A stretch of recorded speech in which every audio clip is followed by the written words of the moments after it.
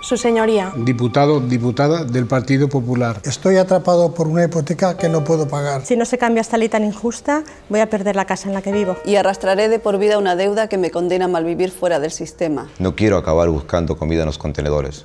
No quiero. Nuestros impuestos se destinan a rescatar a los bancos. Yo ayudo a rescatarlos y ellos me echan, no tiene sentido.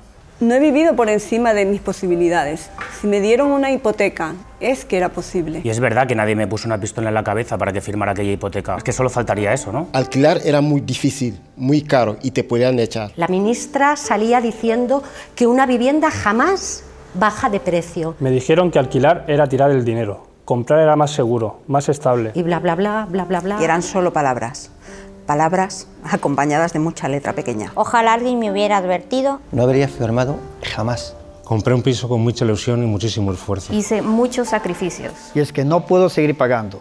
No es que no quiera. Es que no puedo. Ya mismo pierdo mi casa. Tengo que perder todo, todo lo demás. Yo hipotequé mi piso, no mi vida. Somos miles. Aunque algunos ya no están.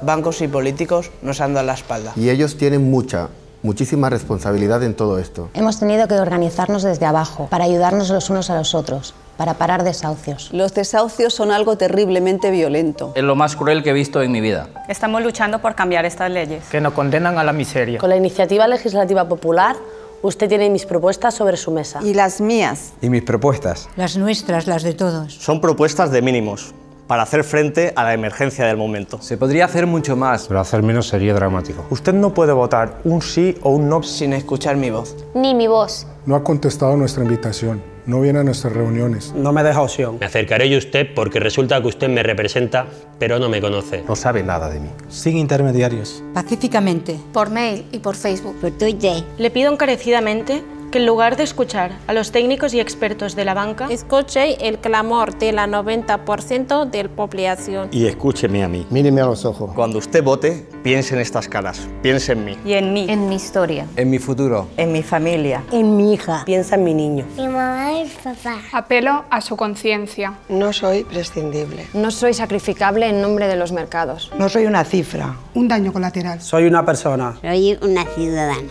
Es muy urgente. Hay vidas en juego. Y son nuestras vidas.